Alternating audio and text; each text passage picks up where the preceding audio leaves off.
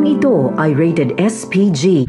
Striktong patnubay at gabay ng magulang ang kailangan. Maaaring may masiselang tema, lingwahe, karahasan, sexual, horror o droga na At ayun na nga guys, matapos nga nating malamang lahat na buhay pa nga ang tatay ng kambal ay talaga namang inaabangan kung sino nga ba ang tatay nga nila. Ito nga rin kaya ang tunay na ama nito ni Cassie at nito ni Mavi at makakasama nga kaya nito ni ah, Carmina ang kanyang pamilya dito nga sa abot kamay na pangarap.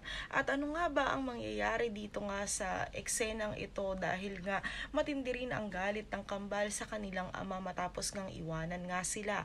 At paano rin kaya matatanggap nito ni ah, Jordan ang kanyang tatay kung sakaling ang bumalik nga ito dahil nga matagal na silang iniwan at hindi nagbigay ng kahit na anong tulong pa. Kahit nga itong si Jewel ay nangungulila sa pagmamahal ng kanyang ama.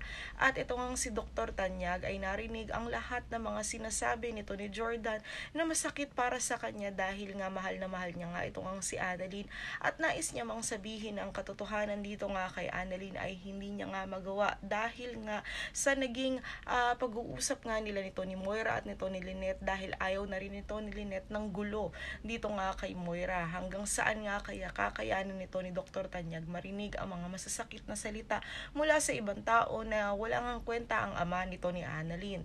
Yan ang mga dapat nating pakaabangan dito lang sa abot kamay na pangarap.